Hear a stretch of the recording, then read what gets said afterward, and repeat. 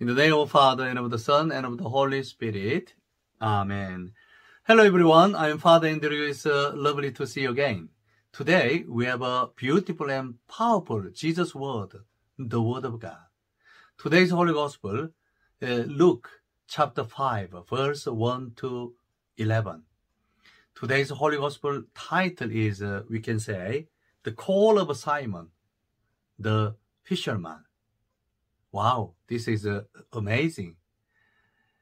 We can now, uh, if possible, have a look uh, today's uh, Holy Gospel.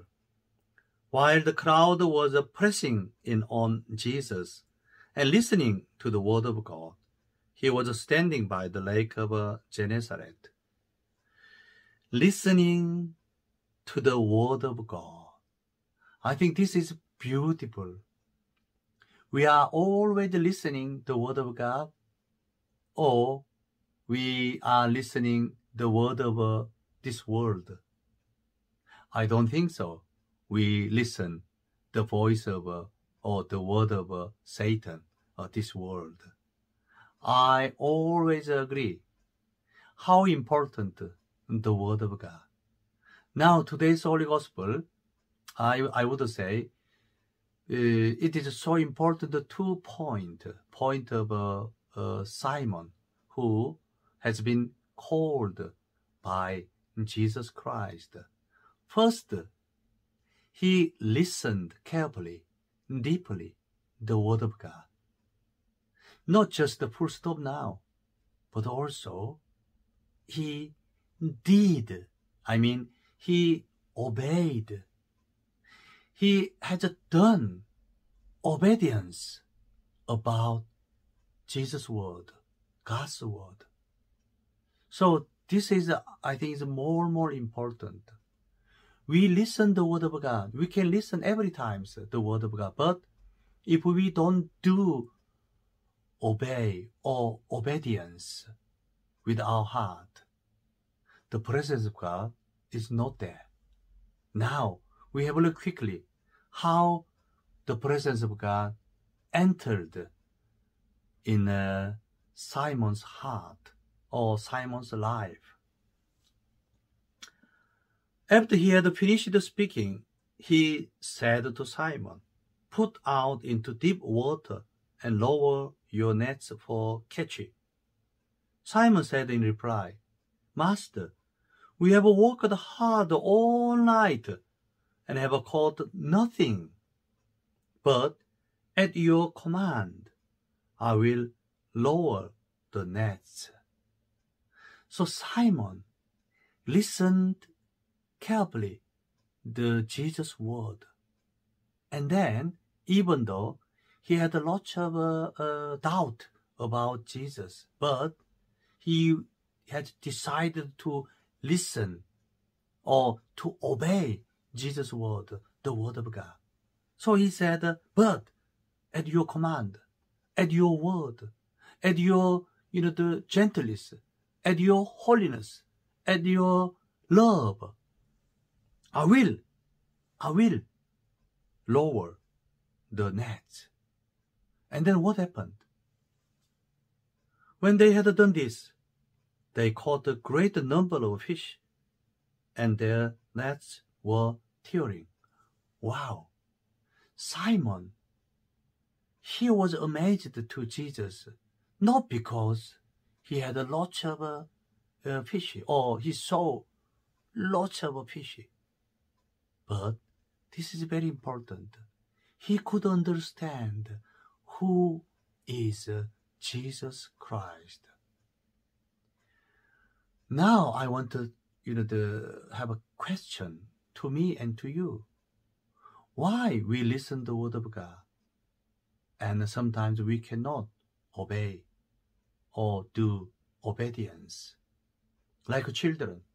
How many times we say, we ask children, please now switch off the television and do your homework or come to, uh, you know, the dinner but many times children said, yes, mom, and then doing continually. What does it mean? Means they listened, but they didn't or didn't obey. So sometimes parents were upset or angry. In our life, some point like this one, we listen the word of God, but we don't do. We don't open our heart or with our decision, if we don't practice, obviously, God's presence is not here. Doesn't do anything, signs or miracle. Now probably the church gives many things to people, but not this obedience or right things, the presence of God. And the other things is very important. Simon Peter understood not about Jesus just, but about himself. So I believe this is very important too. If you understand about your life, your heart, obviously you are now ready to re- receive the word of God, to do obedience about God's commandment. Jesus said always, if you love me, keep my commandment. We say, yeah, we love you. Oh, I love you, Jesus. I believe you. But we don't keep his commandment. In fact, this is a problem. But Simon Peter understood very well and said, Depart from me, Lord, for I am a sinful man. He knew himself. He was a simple man, lacking of faith, lacking of everything. Here, the presence of God came, entered, and finally, Jesus gave uh, Simon Peter this word do not be afraid. From now on, you will be catching man. God's calling. When we listen the word of God and when we give obedience deeply, carefully, God calls us.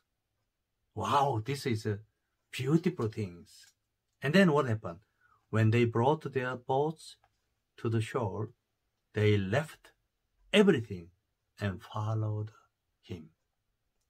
My dear brothers and sisters, when you listen to the word of God, don't listen just, just you know, the listening or listen uh, the word of God, but with your heart and do it.